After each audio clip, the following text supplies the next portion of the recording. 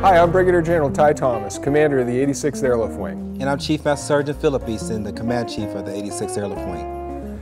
As we move into the holiday season and wrap up the year, we want to thank you for all of your efforts, airmen in the 86th Airlift Wing, as well as across the Kaiserslautern military community, for a very successful year.